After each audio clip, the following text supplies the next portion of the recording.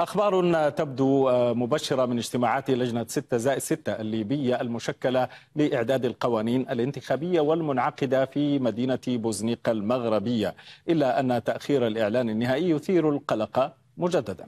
مصادر ليبية كشفت أن اللجنة أبلغت رئاستي مجلس النواب والدولة انتهاءها من حسم النقاط الخلافية في القوانين الانتخابية وأهمها الاتفاق على مبدأ السماح للجميع بالترشح للانتخابات الرئاسية دون شروط.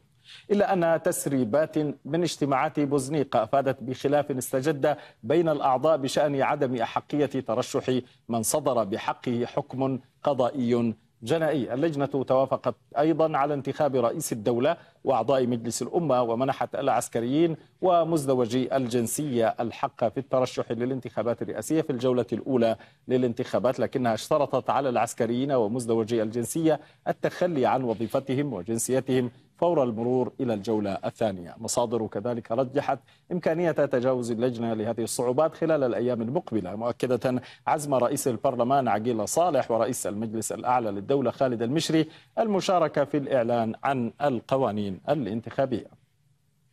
مصدر برلماني أكد أن ما سيتم الإعلان عنه في بوزنيق اتفاق مبدئي وعلى اللجنة إحالته إلى المجلسين للمصادقة عليه ليكون نافذا. كما أن الإعلان سيتضمن أيضا ضرورة تشكيل حكومة مصغرة للإشراف على التمهيد للانتخابات تكون بديلة عن الحكومتين الحاليتين. بالموازاة يكثف المبعوث الأممي عبد الله باتيلي لقاءاته بالقادة الليبيين لبحث سبل دعم الجهود المبذولة من أجل إجراء الانتخابات خلال العام الجاري.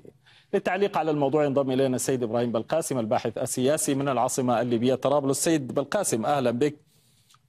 رشح أن لجنة 6 زائد 6 تمكنت من حسم النقاط الخلافية. كيف تم هذا الحسم في تقديرك؟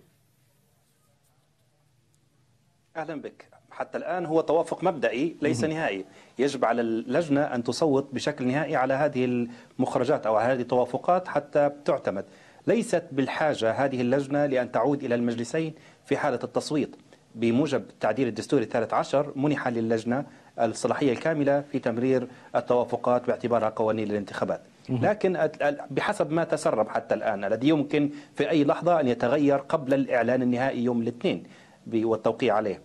يقول بأن الباب مفتوح للجميع للترشح للانتخابات الرئاسية. بالطبع هذه المسألة قد تفجر الانتخابات وقد تعطل وتعرقل إجراء الانتخابات الرئاسية بكل ما تعني الكلمة لأن هناك سابقة في 24 ديسمبر عام 2021 لم تكن فكرة فتح المجال أمام الكل خيار جيد للسماح بدخول الانتخابات. وجود شخصيات جدلية داخل الانتخابات الرئاسية سيعطل وسيمنع وسيحد من قدرة المؤسسات الوطنية اليوم على إجراء نعم كان من ضمن هذه الخلافات موضوع حقية الترشح يعني من صدر بحقه حكم قضائي جنائي ما بين أن يكون صحيح. هذا الحكم نهائيا أو أنه مطلوب للعدالة. يعني كيف حسمت هذه النقطة؟ وهل يمكن أن يكون الاتفاق يعني حولها وجعلها فضفاضة هي محاولة ربما لكي يتمكن سيف القذافي مثلا من الترشح؟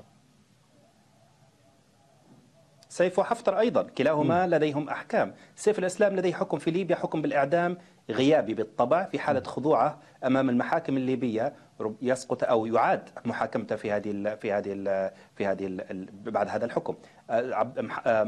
خليفة حفتر أيضا لديه حكم. ولكن خارج ليبيا في محكمة فيدرالية أمريكية باعتباره أنه أحد من مارس جرائم حرب ضد مدنيين في ليبيا. فكلا الرجلين لديهم أحكام. وكلا الرجلين لديهم ممثلين أو مؤيدين لهم داخل اللجنة بشكل واضح، يبدو أن هذه هذه الثغرة أو هذا التوافق على أنه يجب أن تكون الأحكام نهائية وأن تكون الأحكام في داخل ليبيا استطاعت أن تخلق توافق ما بين أعضاء اللجنة، لكن مرة أخرى ما ستنتجه اللجنة وما يتفق عليه مجلس النواب والدولة سيخضع ل تفاهمات وتقاربات القوى الفاعلة في ليبيا وقبول الليبيين والقوى الوطنية والأحزاب وغيرها من المؤثرين والقادرين على التأثير بشكل مباشر على الانتخابات. هل سيقبلوا بهذا الاتفاق أو من عدمه؟